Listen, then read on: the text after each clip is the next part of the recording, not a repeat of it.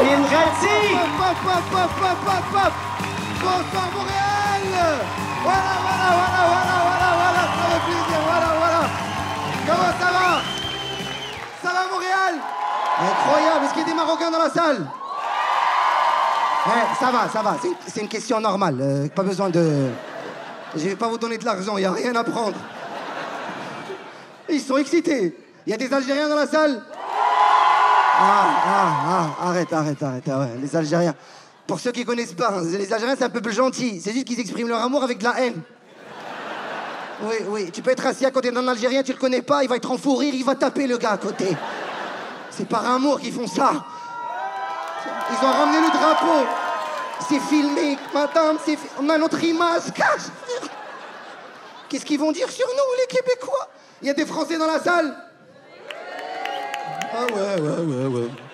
Alors ça fait quoi d'avoir une carte de séjour à l'étranger? Moi je me présente, je m'appelle Amin Radi, je viens de Casablanca les amis. Je suis arrivé à Paris en 2012, j'habite à Paris. Première fois de ma vie, j'arrive à Paris, moi je stressais à mort. Je savais pas comment ça se passait. On m'a dit, Amin, si t'arrives à l'aéroport, tu dis tourisme. Moi dans ma tête c'était tourisme, tourisme, tourisme. Je suis arrivé devant le douanier, il dit, monsieur, vous êtes là pour? J'ai dit, terrorisme. Il m'a dit où ça? J'ai dit Trocadéro, la Tour Eiffel, Champs-Élysées, l'Arc de Triomphe. Il m'a dit tout seul avec quelqu'un, jamais tout seul, toujours en groupe. Moi, Karim, Rabi, j'aime que des Marocains. Après, j'ai vu toute la police de la France. Moi, j'ai bossé 4 ans dans la finance. Oui, j'étais expert comptable. On ne dirait pas, mais oh là, c'est vrai. J'ai compté l'argent des gens. C'est pour ça ils en ont plus. Moi, j'ai changé de métier. Écoute bien, j'ai bossé 4 ans dans la finance, j'ai arrêté de travailler en novembre 2019. J'ai créé ma boîte de production spectacle en février 2020. Qu'est-ce que tu applaudis Qu'est-ce que tu applaudis? Il y a eu le Covid en mars, t'as pas compris? Là, je prépare mon livre qui va sortir bientôt. Comment faire faillite en un mois? Moi, grâce à l'humour, les amis, j'ai vécu des moments incroyables. hein. J'ai pu voyager en business class. Est-ce qu'il y a des gens qui ont voyagé en business class ici? Oh, calme-toi, Air Algérie ne compte pas. Calme-toi. Faut savoir, quand tu voyages en business class, les amis, tu te sens supérieur malgré toi. Quand tu rentres dans l'aéroport, ta marche, elle change. Tu veux que tout le monde sache que tu es en business class. Je suis arrivé devant le douanier, il dit, monsieur, vous allez où? J'ai en business class. Il m'a dit, à quelle heure, quelle destination? J'ai à 15h, mais en business class. Il a compris que c'était ma première fois. Il m'a dit, passe, passe, passe. Faut savoir, quand tu voyages en business class, tu vas pas avec le peuple, non. À l'aéroport, tu vas dans un endroit spécial qui s'appelle le business lounge. Bon, les riches, vous connaissez. Les pauvres en haut, fermez les yeux, imaginez. Vous allez être les premiers publics à regarder un spectacle en 3D en fermant les yeux. Alors les amis, j'arrive devant la business lounge. Je savais pas quoi faire. Qu'est-ce que je fais? J'enlève mes chaussures. Et là, au moment où je rentre, les amis, sur ma vie, je vois un buffet à volonté que j'avais pas vu depuis mille ans. C'était la première fois de ma vie que je le vois. J'ai commencé à faire mes courses. Et là, les amis, je vois des gâteaux que j'ai jamais vus de ma vie. Qu'est-ce que j'ai fait? J'ai ouvert la valise.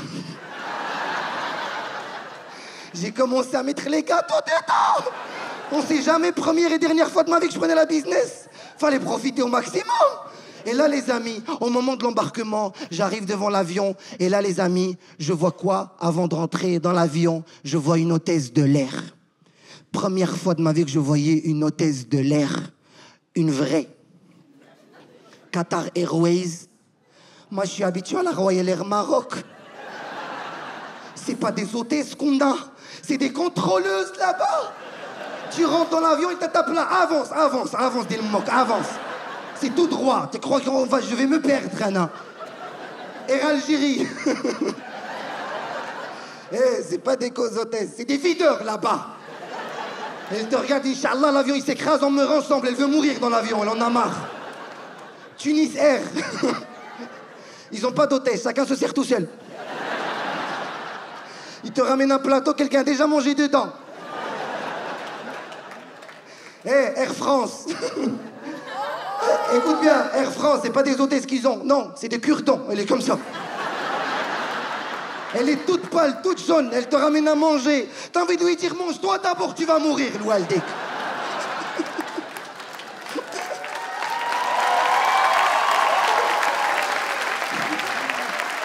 Merci, merci, merci. Air Canada. Là, les hôtesses, elles servent à manger avec une Rolex, un sac Hermès, j'ai pas compris. Elle te dit, tu veux-tu manger? Je veux je manger, oui, je veux je manger. C'est plus une hôtesse, elle dit, c'est une professeuse de français. Bref, les amis, l'hôtesse de l'air, Qatar Airways, elle me dit, je la vois, elle me voit, elle me dit, monsieur, suivez-moi. Wallah, je te suis. je l'ai suivie jusqu'au Qatar à. Elle, elle marche et moi, je la suis derrière. Et là, elle me dit, monsieur, voilà votre chambre. Je dis, madame, calmez-vous, je suis pas le pilote. Elle m'a dit, non, monsieur, quand vous voyagez avec nous, Qatar Airways en business class, vous avez le droit à une chambre à vous tout seul. J'ai vécu 17 ans chez mes parents.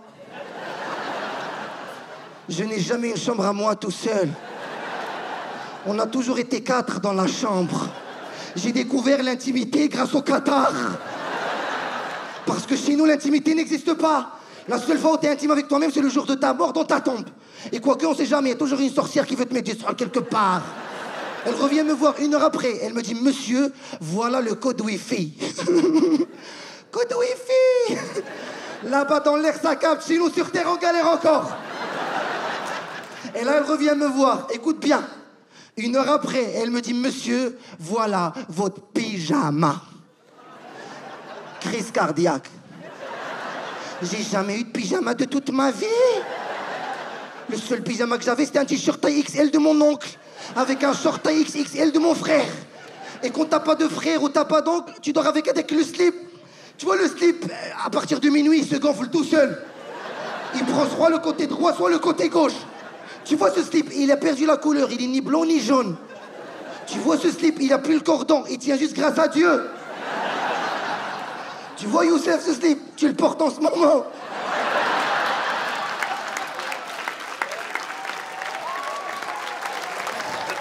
Tu vois ce slip ou tu vois pas le slip que tu mettais ici à 13 ans À 18 ans, il devient un chiffon avec lequel ta mère essuie la table. Toi, à 15 ans, tu le mettais ici, ta mère, elle essuie la fenêtre, elle essuie l'assiette sur laquelle tu as mangé. Mais maman, calme-toi, on va mourir. Tellement j'ai kiffé le vol, les amis, en business class. Je vous jure, je rêvais de mourir dans l'avion. J'allais devenir la fierté de la famille. Mon père sur ma tombe, il allait écrire Amin Radi mort en business class.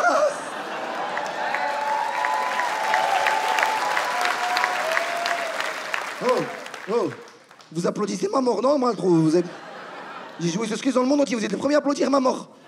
Avant de finir, j'aimerais dire un truc, les amis. Depuis trois mois, j'ai eu ma nationalité française.